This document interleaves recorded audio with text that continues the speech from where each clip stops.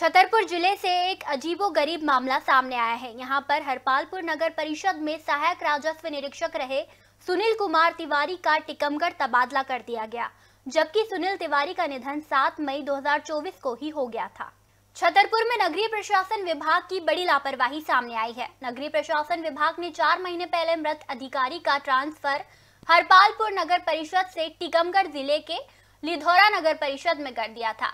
दरअसल नगरीय प्रशासन विभाग के हरपालपुर नगर परिषद में पदस्थ राजस्व अधिकारी सुनील कुमार तिवारी की बीमारी के चलते 7 मई 2024 को ही उनकी मौत हो गई थी। लेकिन विभाग ने बिना जानकारी लिए मौत होने के बाद उनका ट्रांसफ़र टिकमगढ़ कर दिया।